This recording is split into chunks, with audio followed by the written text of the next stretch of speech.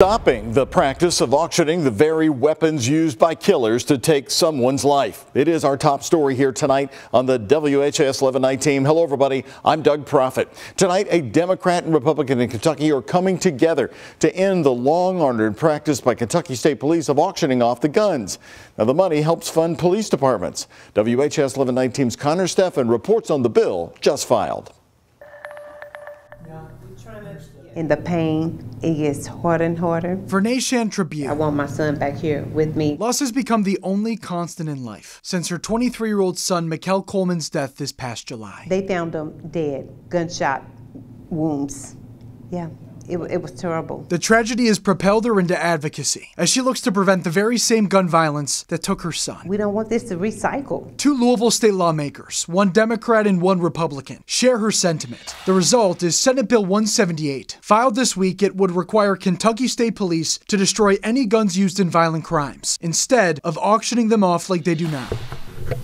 This video from KSP shows some of the thousands of confiscated guns they're preparing to auction off to federally licensed firearm dealers next week. It's not clear how many, if any, were used to commit murder. There's no way that that should be auctioned off to no one else. That doesn't make any sense. Under current Kentucky law, about 80% of the revenue generated from KSP auctions is allocated to local police departments like right here in St. Matthews. Officers called the funding crucial. Because you're able to fund police departments to be able to buy equipment that's necessary for them to do their job. St. Matthews Assistant Police Chief Eddie Jones says the department is a recent beneficiary of the program. We were awarded $193,000. Money they used to replace old tasers and handguns, make system upgrades, and launch new training programs. What benefits the smaller departments in the state? It remains unclear what impact the bill would have on this funding. Still, Jones points to what's at stake if smaller police departments lose a critical resource. If they start removing those guns, it's going to hurt police departments out here trying to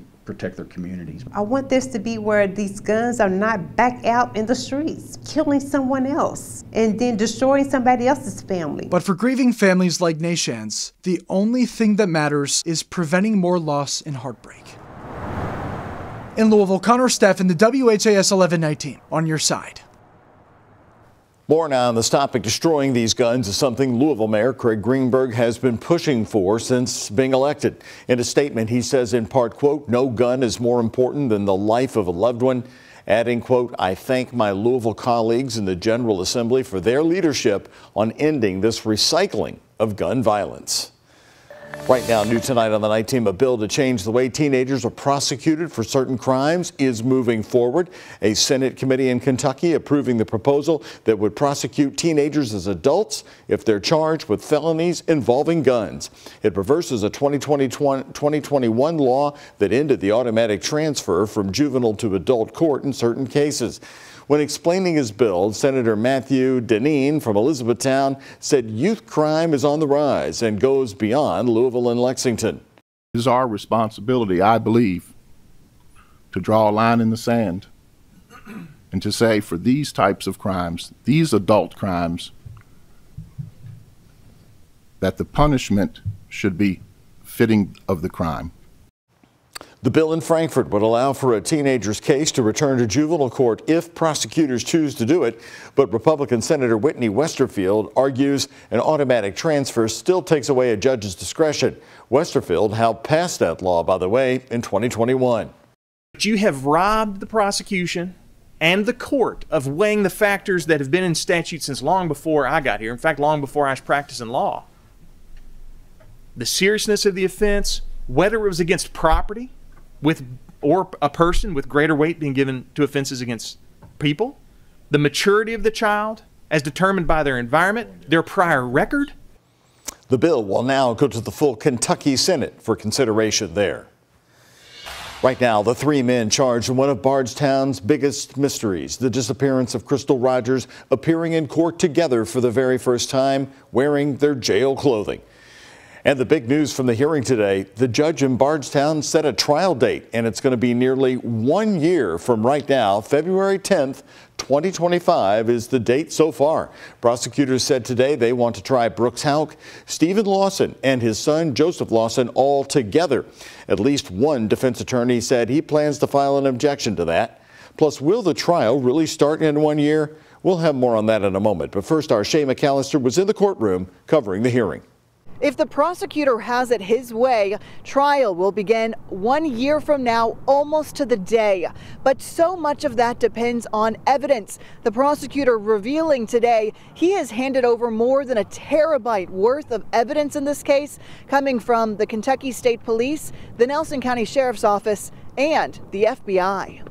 All rise. One by one, the men accused of killing Crystal Rogers filed into the courtroom. Joseph Lawson was wheeled in first, followed by his father, Steve Lawson. And then in black and white stripes with cuffs on his wrists, Crystal's former boyfriend, Brooks Houck, took his seat. It was a surprise for all three men to be brought in together, but perhaps a sign of what's to come. So you're going to be filing a motion to try all three cases together, as I take it. And then the prosecutor indicating he hopes to try all three men together in one trial more than a year from now. Jason Ellis and Tommy Ballard mentioned as part of the case file that was initially handed over to the prosecutor, but still no arrests in either of those cases, something a friend of the Ballards thinks will soon change. This is not the only three that's, that's had something to do with it. I guarantee, I'd bet what I got in my pocket. That there's more out there that had something to do with this. Back in the courtroom, attorneys for Joseph Lawson were fighting for a lower bond, saying their client isn't a danger to the public. It's obvious that the court concedes that uh, he, he is paraplegic. That's just a fact that exists. But the Commonwealth fought back, pointing to his criminal history, alleged involvement in Crystal's death, and actions after he found out detectives were eyeing him. Once he found out that he was a subject, a target uh, what happened to this young woman. He called around or texted around to associates, to friends of his, to cover for him, to give him an alibi that, that night of July the 3rd when she's missing. The judge plans to rule on bond by the beginning of next week. And 20 minutes after it started, the defendants left the doors they came in, heading back to the jail cells, where they will wait for the next development in Bardstown's greatest mystery. Today was the first time that Joseph Lawson and Steve Lawson, father and son, saw each other for the first time. We're told no words were exchanged. The next court date in this case has been set for mid March. In Nelson County, I'm Shay McAllister, WHAS 11 on your side. So let's remind you once again, here's where things stand after today's hearing. And again, it focused on the bond for Joseph Lawson today. That bond currently set at a half million dollars, $500,000. His attorneys again want it lowered down to $50,000. That decision, as we just reported from Shay McAllister, will be coming sometime next week. Stephen Lawson's bond sitting at $250,000 after a judge lowered it last month. And the bond for Brooks Houck, the big one, remains at $10 million. The judge previously denied a request request for that bond to be reduced. Now, our legal expert who is following the Crystal Rogers case closely is a former Jefferson County prosecutor with the Violent Crimes Unit. Nick Mudd is now a defense attorney with his Mudd Law Group. He joined me live at 5 today. So, what about that trial date for next February? Well, you think it's an end in sight, but I'm going to tell you it's probably not. Um, a case like this complex, you have A, you have a complex case, B, you have three co defendants. So you have three, three men charged. Uh, you have multiple sets of attorneys, obviously. I know two of the uh, individuals have multiple attorneys, one has a single attorney, uh, and certainly you have 1.1 terabytes of data. That is a huge amount of evidence. There has to be some smoking gun in that evidence. Mr. Young and Mr. Lasowski are top-notch prosecutors, and they're not going to go forward on a case unless they've got strong evidence to present to a jury. Again, Mudd does not believe the trial will start on time next year. Mudd said that there are benefits to trying all three defendants together, like preventing the same witnesses from testifying several times. He did say, though, we'd be in for a very long trial. You can stay up to date on the, any of the latest developments in this case. Sign up for breaking news alerts on the free WHAS 11 app. And right now, all new on the WHAS 1119, President Joe Biden is responding to a new report that says he willfully kept and disclosed highly classified material. But the special counsel recommended no charges against him.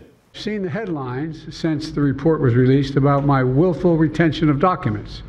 This, these assertions are not only misleading, they're just plain wrong. The report also concluded that President Biden did hold on to classified material from his time as vice president, including military and foreign information regarding Afghanistan. The special counsel did note that Biden turned in classified documents and sat for a voluntary interview. I was so determined to give the special counsel what he needed, I went forward with a five hour in person, five hour in person interview. The special counsel also called the president's memory into question, calling him a quote, elderly man with a poor memory, end quote. He also wrote it would be difficult to convince a jury that they should convict.